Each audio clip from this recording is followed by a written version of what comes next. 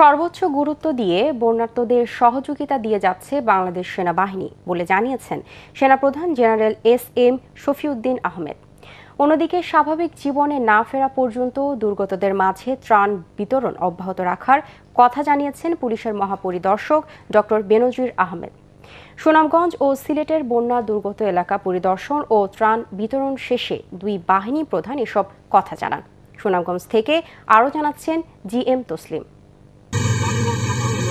বৃহস্পতিবার দুপুরে সুনামগঞ্জের সুরমা ইউনিয়নের মঈনপুর গ্রামে ত্রাণ বিতরণ করেন সেনাপ্রধান general S M Shafiuddin Ahmed.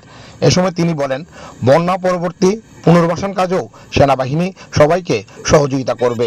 এছাড়া সেনা পরিবারের সদস্যরাও বন্যার্থদের আর্থিক সহায়তা দিয়েছেন, যা দুর্গত মানুষের জন্য ব্যয় করা হচ্ছে বলেও জানান সেনাপ্রধান। এখানে আর ক্ষেত্র আছে যেখানে আমাদের সহযোগিতা আরও বাড়াতে পারি। এটাও নিজেকে একটা অ্যাসেসমেন্ট এখানে এসে যেটা দেখলাম, আমার কাছে খুবই ভালো যে প্রতিটি যারা সাথে সংশ্লিষ্ট সকলেই কিন্তু উৎসাহ উদ্দীপনে কাজ করছে। এবং সবচেয়ে বড় বিষয় হলো যে সরকারের অর্গান কিন্তু নিজে নিজে অনেক উৎসাহে কাজ করছে।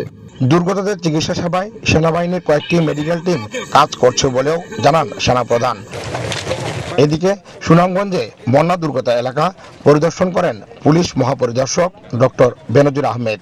এই সময় তিনি বন্যার্থদের খোঁজখবর নেন এবং তাদের মাঝে রান্না করা খাবার বিতরণ করেন। পরে সিলেটের সাহেববাজার এলাকায় একটি আশ্রয় কেন্দ্রে খাবার ও বিশুদ্ধ পানি দেন আইজিপি।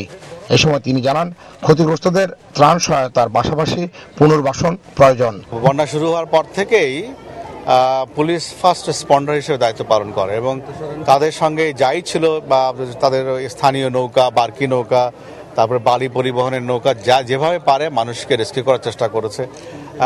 অনেক ক্ষেত্রে আপনারা জানেন, থানায় নিজস্ব ভবনেও প্রাথমিকভাবে তাদেরকে আশ্রয় দিয়েছে।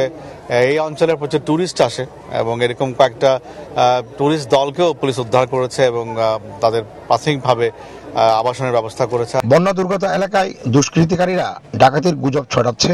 উল্লেখ করে আইজিপি আরও বলেন, বানবাসীদের নিরাপত্তায় সব ধরনের ব্যবস্থা নেওয়া হয়েছে। পরে বোলাগঞ্জের দুর্গত এলাকায় ত্রাণ বিতরণ করেন police মহাপরিদর্শক। G M Taslim, ATN Bangla. Sunamganj.